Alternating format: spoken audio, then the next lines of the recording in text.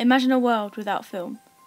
No cinemas, no films to put you in a good mood, and no Christmas movies to put us in the festive spirit. Well, without the Lumiere brothers, I wouldn't even be talking to you about film as a subject right now.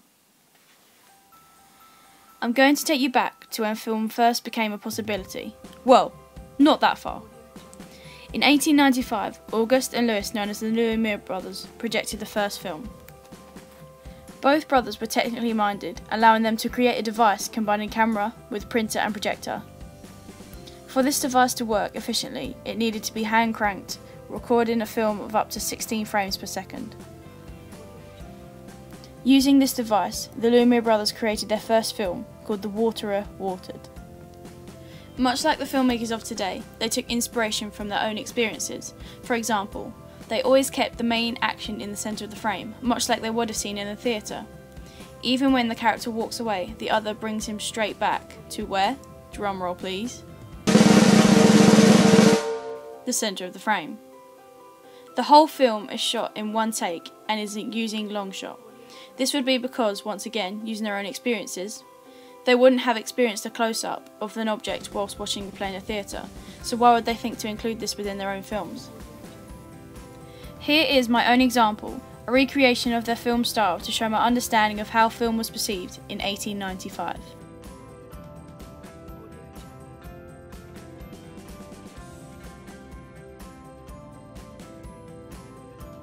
Flashbacks had already existed in novels, Scene changes were already a part of live theatre productions, and even narrated sequences visually existed within comic strips. However, early filmmakers were afraid that splicing different shots together would confuse audiences. But, in 1896, a man named George Méliès accidentally discovered what we would know now as a jump cut. Whilst filming, his camera jammed, and by the time he began recording footage again, the object he was filming was gone, as if by magic.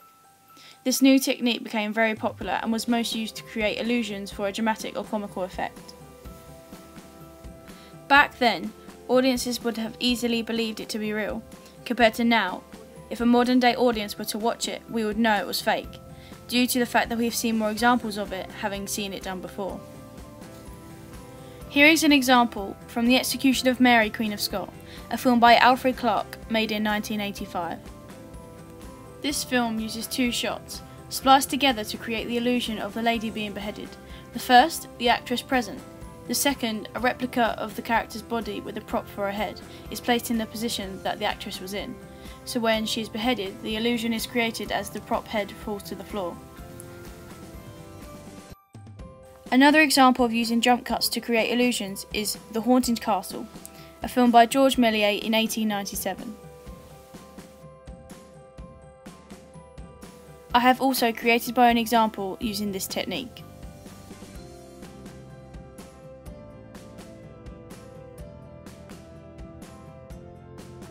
In 1903, Edwin Porter discovered that by using editing, if you splice scenes together you can create a film of around 10 minutes long, which meant the duration of film was now moving forward. The individual scenes shot put together were usually shot in a long shot and were unedited. An example of this technique, the Great Train Robbery made by Edwin Porter.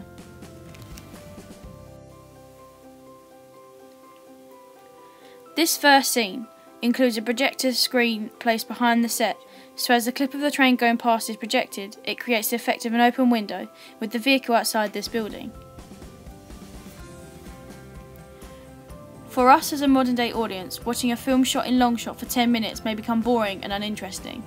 If this scene were to be shot by modern day filmmakers, it would include close ups of bags and purses being stolen, hands going into pockets, scared facial expressions, point of view shots, and so on. However, 1903 filmmakers were still taking inspiration from what they had seen themselves, and that had yet to be the art of close ups. Therefore, I made my own example showing a modern day version with inspiration from this film. Hands where I can see them!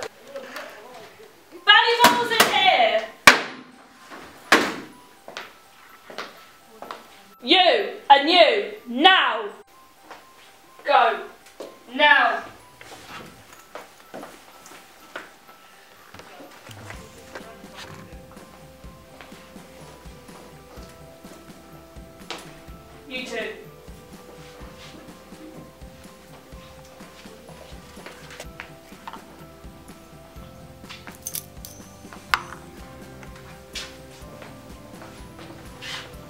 Thank you for your cooperation.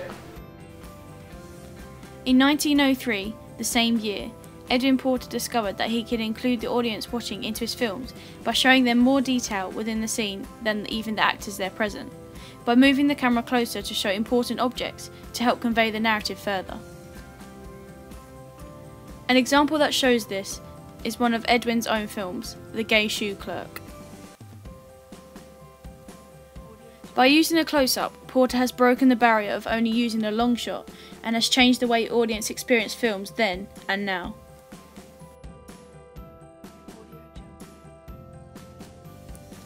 Another filmmaker at that time was D.W. Griffiths.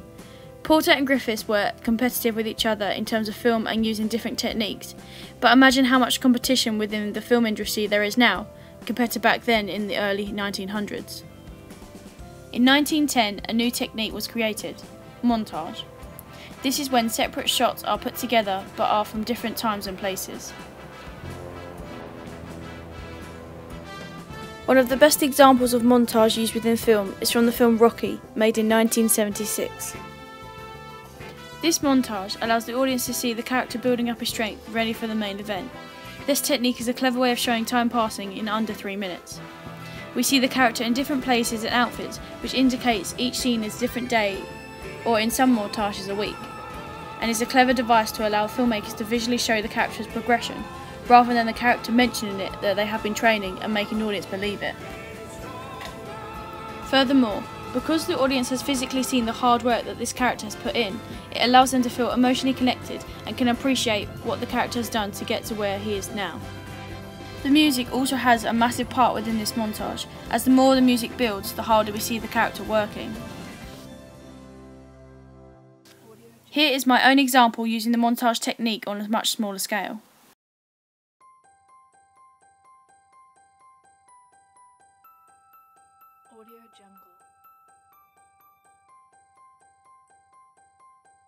Another device developed in 1910s was a technique called parallel editing. This device includes two or more scenes spliced together with the impression that they're happening at the same moment in time. This technique is achieved by editing using the audio from one scene over the top of another. This can be used to create tension, for example, the film The Godfather, made in 1972, as the victim is trying to be reached before they are killed. By using this device, the audience are aware of the dangers ahead and therefore leaves them scared and worried about what might happen, and also leaves them feeling included because it's almost as though they want to warn the character about what's to come, so they feel helpless in the situation. In 1903, when Edwin Porter produced The Great Train Robbery, he touched slightly on the subject of parallel editing with his use of crosscuts. However, he didn't use this technique to its full potential, which left it open for other filmmakers to take over as their own. Here is also my own short example of using the parallel editing technique. So in today's tutor class, we're going to be doing algebra. Um, and so we've got four equations up here which I would like you to solve. Um, so Sam, could you tell us the first one which is 10a and 8b equals what? Um, 18AB. 18ab. Well done. Now, Jess. Yes. Um, could you tell us the next one, please? 8x add something equals 16x. What is the something? Um, A. Well done. Um, now, where is uh, Emily? She's meant to be here, isn't she? Our final device to look at is rhythmic editing. This technique consists of the timing of the shots depending on the situation. Different moods can be portrayed through the speed or rhythm of editing. For example, in the film The Birds by Alfred Hitchcock, made in 1963, one of the scenes includes the birds attacking one of the female characters. In this scene, as the birds begin to fly around, the shots become increasingly rapid, keeping the audience on the edge of their seats. This technique also conveys how the character is feeling. As the birds fly all around, the clips keep changing rapidly on screen, making the audience feel panicked, and with the build up of the music playing, they are left wondering what is going to happen.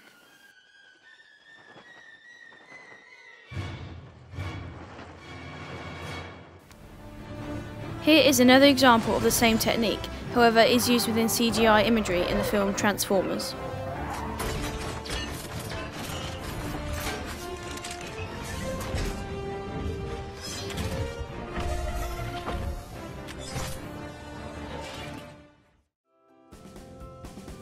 I have also made my own example of this technique, the idea being that the characters are playing roulette, making sure that the edit of the shots pick up rhythm as the characters become more panicked towards the end. So, I think it's safe to say that film wouldn't be what it is today without the use of editing. There are three main reasons why we edit. Number one, the shots taken by filmmakers are often too long, so by using editing we can trim these clips down. Number two, a filmmaker will always film a scene more than once and then decide which clip to use in the final outcome, so by editing it makes this possible to do this. And number three, filmmakers will normally shoot more than they need to or decide to open the scene in a different section. Therefore, editing allows filmmakers to change the look of a scene if they decide they do not like the original. The average shooting ratio can vary from around 6 to 1 or 10 to 1. So, for an hour and a half film, this usually is between 9 to 15 hours of footage to cut down to, and sort through. Editing allows filmmakers to pick out the best bits to place into the final sequence. So, overall, by editing films, we are able to improve the final outcome. And I guarantee that the films you and I have seen would look completely different without having been edited. Much like I've just demonstrated, the film and editing industry will continue to grow, improve, and amaze us. We will always have that one film that stands out as our favourite.